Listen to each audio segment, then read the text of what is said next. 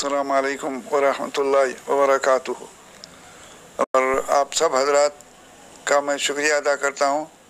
आप माहत के साथ अपने खुलूस और हमदर्दी का इजहार कर किए। अल्लाह आप सब हजरात को जजाय खैर दे और माहत के के ताल्लुक़ से ये आपका अपना कौम का मिली मदरसा है और इसमें